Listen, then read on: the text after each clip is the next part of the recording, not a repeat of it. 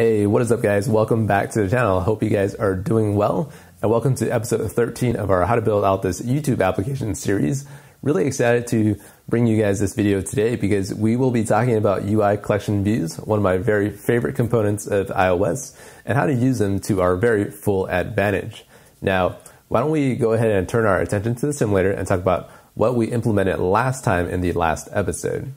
So we have the simulator here, and in the last episode, were able to implement a menu bar up here that slides the bottom panel below. And the bottom panel here is just a very simple UI collection view.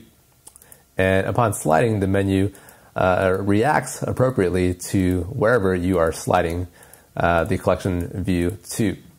Now, in today's video, we will be talking about how to actually implement these uh, video cells for each one of these feed tabs. For example, the account is blank, subscription has a separate uh, feed, trending has a separate feed, and home is the home feed. So the question of the day is kind of how would we actually implement a vertical scroll inside of a horizontal scrolling uh, UI collection view like this? And you know, I'm going to show you guys exactly how to do that. So why don't we go ahead and shrink this similar to the bottom. And if you have not uh, watched the last episode, go ahead and click in the description below. Uh, there should be a link and make sure to get caught up first before starting today. Now let's get ready to rock and roll with this application here by opening up our Xcode project. I'm going to go ahead and open up Home Controller. I'm going to run the application to actually confirm that our app is where we kind of left off last time. So we have our menu bar and we have our collection view down below. And now we want to actually implement some of these cells that we previously had before we implemented this uh, slider paging collection view. And how do we do that? Well, it's actually quite simple. I know I say that a lot, but uh, it's actually pretty easy. And we will do that first by going to this view group, creating a new file, and we'll create a uh, CocoaTouch class with a subclass of base cell. And this will be a feed cell here. And this feed cell represents each one of these sections inside of our collection view. So a feed cell, we'll have four of them, a blue one, a green one, and a gray one, and a purple one. So that's what a feed cell is. And what do we do with this feed cell? Well, if we go back to uh, home controller, inside of viewDidLoad, we call setup collection view here. And this method registers uh, a UI collection view cell for this cell ID. So instead of using a collection view cell, we will use a uh, we'll use a feed cell instead. So let's register a class of feed cell.self. See self like that, and we use cell ID for the identifier. Now that we have this, we can run the application again, and we'll see the exact same thing. But now we're using a feed cell instead of a standard uh, UI collection view cell. So still the same application, nothing has changed yet. And I want to actually comment out some code inside of cell for item at index path inside of home controller. So instead of changing the color of each one of those cells, I'm going to remove the color, run the application, and we'll see white cells. And going back to feed cell, I want to override this method called setup views perhaps call setup views in the superclass as well. And remember, setup views doesn't do very much. It just eliminates the need to override all of these init methods. So going back to feed cell, I want to actually set the background color to some kind of color. Now I'm going to just set it as brown color like this. And you don't have to type in the UI color if you don't want. If you know what it's called, you just specify dot, whatever color. And now they're all brown like so. So now what that means is the home controller is correctly uh, returning these feed cells so I can start rendering something in this feed cell here. Okay. And so each one of these brown cells represents a section of our app. And how do we get the behavior where each section has a horizontal scroll like this? And like I said earlier, it's actually pretty simple if you implement a uh, UI collection view inside one of these feed cells here. So let's go ahead and do that. And I will say let collection view equals UI collection view So this is going to instantiate a new collection view inside of feed cell. And I will use a closure block and include a UI collection view inside with a constructor of frame and collection view layout. And this will just be a zero because we are using constraints to actually specify how large it is. And for this layout parameter, I will create this layout up here. Let layout equals UI collection view flow layout. So I know a lot of you guys have seen this already. So let's just go through this quickly and return this collection view out and execute this closure block. And we'll get this collection view out here. So the next thing to do is inside of setup views, we'll add it as a sub view, add this collection view here, add some constraints with this horizontal format that spans left edge to right edge like so.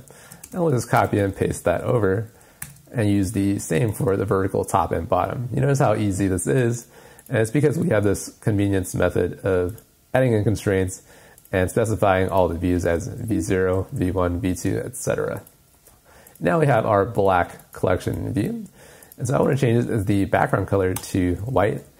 So let's say CV background color equals UI color of white like that. And we can run that. So notice how you can specify UI color here, or you can just use the dot color. So both styles work. And here we go, white cells.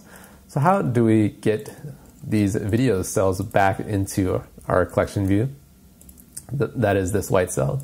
Well, that's pretty simple as well, as long as we register our cell again. So we can say collection view, register class, and we can register back our video cells with video.self or video self dot uh, video cell dot self, and this will be a cell ID which we create right above here. Cell ID equals this string of cell ID. So this cell ID doesn't matter what it's called so much. It can be that, and it'll still render correctly as long as it's a string. We are good to go. So now what do we do? Well, if we run the application, we don't get anything in our collection view because we have yet to implement the number of items in section method. So number of items is what we want to implement. But you notice how we don't see anything occurring inside of the auto completion because we have yet to implement UI collection view data source, uh, delegate, and delegate flow layout, like so. Now we use this just to implement the sizing of our cells inside of the collection view. So why don't we finish number of items in section right here and return a value of 3. So let's get some extra spacing down here, why don't we? And now I want to implement the cell for item at index path method. And this will just return some kind of cell. And what is this cell? Well, first we let cell equals collection view, and we'll dequeue it from the uh, collection view like this with this cell ID string that we created above. And index path is passed into this method via that parameter. And we can now run this application and hopefully we'll see something in our cells. But we will not be seeing anything in here, unfortunately. And that's um, because of this common, uh, this kind of common, it's not exactly a mistake, but every time you put in a collection view inside of a new view, for example, a cell, you actually have to set the data source to self on the collection view first before any of these methods get called. So if I run this again, these methods actually do not get called. And you see how these uh, breakpoints don't get uh, they don't get run into, and we will specify cv.dataSource equals self, and also cv.delegate equals self. However, this doesn't exactly work just yet unless we specify lazy var up here. This just means that we can access access self inside of this closure block. And it's really convenient so that everything is kind of neatly packed away inside of this closure up here. So running the application now, we'll see these breakpoints fire off right away when the app is up and running. So there we go. We get return of three, and this returns three times. So we get three of these cells in here. So this is currently what the collection view looks like. And we want to actually implement all of these functions or all these methods for the collection view that returns these cells, gives it uh, the video for each one of these individual cells and also returns the sizing of the cells. So we did all that previously inside of Home Controller here. And the last episode, we commented all, all of these methods, and I'm to just uncomment it, cut it, and paste it back into this feed cell here. So pasting it over these number of item, uh, number of items in section and cell for item index path methods that we just implemented. So I just paste it over those two function calls, and I'm going to fix all of these errors right now. So remove override, remove override, and we can also remove view right here because we're in a cell itself, so we can get the entire cell's frame and width just by accessing frame. And now we're almost there. So inside of number of items, we need to return the amount of videos inside of our home feed. So what that means is we need to actually go back to home controller and bring back this videos array parameter as well. Let's bring this back into feed cell. Why don't we put that up here? And also, why don't we go back to home controller again? And we actually need to fix this error where in the beginning of the loading of home controller, we call we call fetch videos right here, but we don't longer need this because fetch videos actually will occur by copying over this into feed cell and pasting it in here, we need to call fetch videos inside of this uh, feed cell instead of home controller. And let's see, here we go. So fetch videos goes right here. And then now we can just remove this optional right here. And this will simply call fetch videos. And upon completion from this API service call, we'll just reload the collection view. And let's see what we get inside of Home Controller now. So kind of magically, these cells appear, and it actually gets all of these videos from this API call, and everything is being rendered pretty correctly, or almost there right now. And that's kind of how all of this works. So all, all of our cells now have a vertical scroll, and the entire home controller has a horizontal scroll that allows us to swap between sections. So pretty nice and pretty easy, I think. And we need to actually fix one little error inside of home controller where the cells actually are being rendered a little too large. And I can see that from this scroll bar here. And this is actually underneath the menu bar. And right here, the scroll bar kind of goes below the end of the collection view. And to fix this, we will first, let's see, I see these comments here, which I don't really like comments in my code, so let's just remove that. And I want to go down to size for item at index path, which is here. And instead of returning view frame height for this uh, entire cell of the section, we'll actually subtract 50 from it. And this value 50 actually comes from the size of this menu bar right here. So the menu bar is 50. So if we subtract 50 from the height, we get the proper sizing for each one of these cells. And notice how the console, uh, there was a warning in there previously specifying the cells inaccurate sizing, and now it's gone. So that's what fixed the, uh, the issue there. And now all of our cells are being correctly populated like that. Okay, and let's see. Here we go. All right. Not so bad. Not so bad. Okay, so what do we want to do now?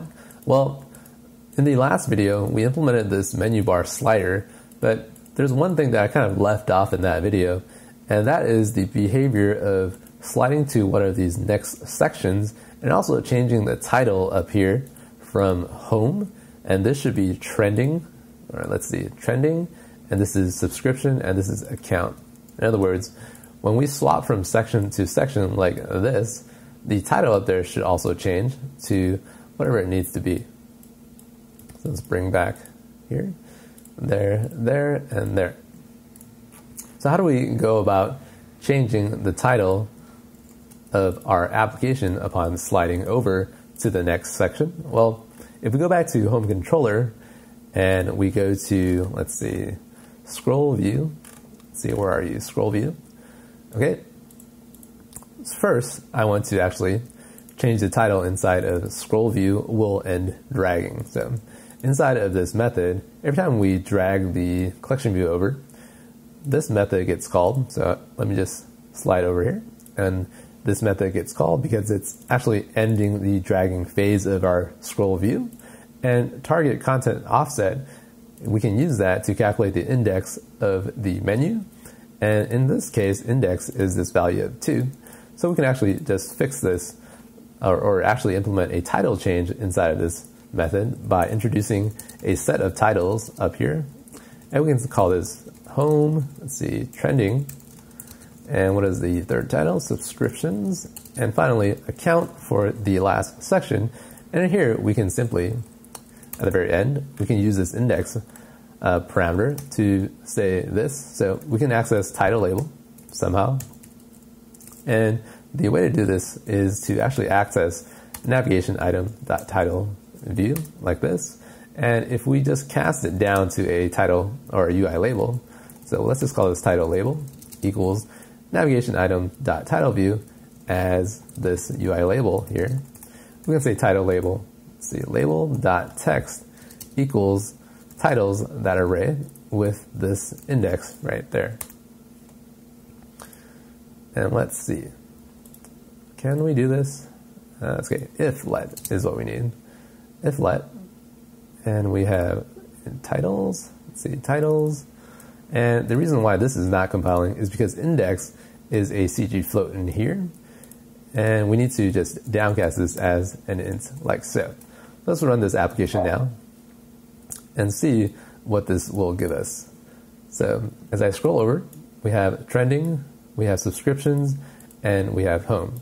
So let's just add in a couple of spaces inside of this. Remember in the previous episode, we kind of changed the title text to actually have this home over here with two spaces. So why don't we add two spaces in here with string interpolation like this. So two quotes and we add two spaces, add in this guy right there, and we can just cut and paste that in there. So that'll give us this two space and then the variable of the title from this array.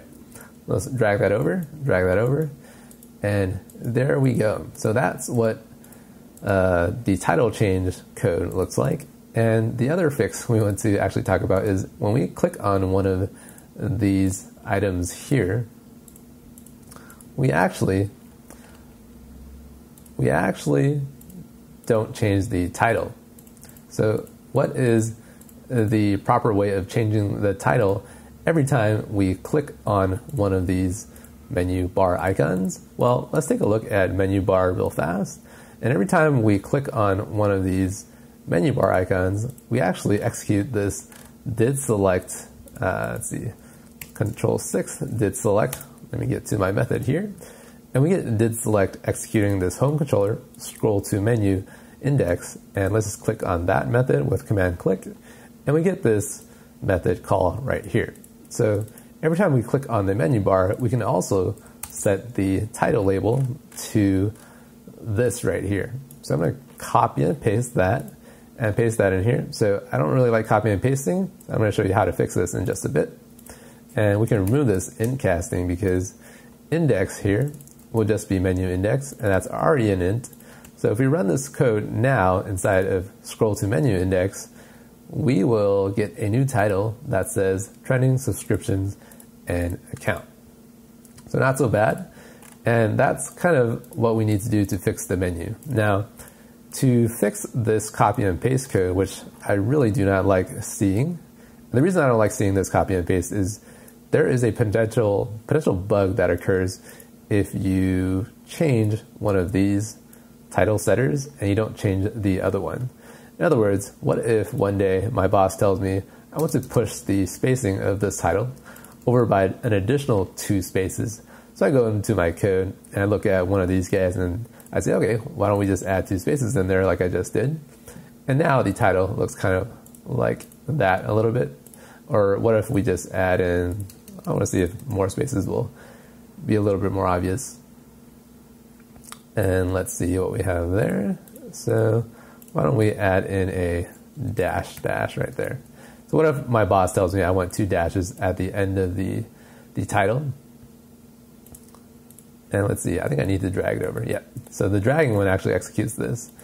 And so if he wants me to make that change, I'll happily go in here and make that change. However, because I've copy and pasted this code, this change doesn't execute whenever I tap one of those menu icons. So we have a conflict or an inconsistency in our code right now.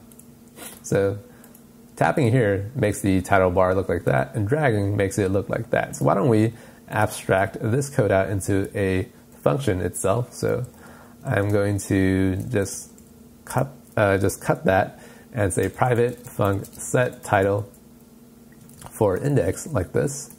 And this index will be an index of int type. And just paste that code in there. Take this index here, replace that, and here I'll just call set title for index with this menu index inside of here. So menu index goes there. And I'll call this method again inside of this method. So instead, instead of this entire call, we'll just comment that out. And we'll just call this with the index of int index like that. so now we've removed the inconsistency in our code. So in other words, we can click on these icons right here and also drag this over and the title will look exactly the same. Kind of no matter what you do to the set title method right here. All right, that's pretty good. And one more thing, uh, to clean up our code a little bit, you should always include the parameters of your properties inside of your classes above in the very top. This way, your code is not littered with uh, properties and constants all over.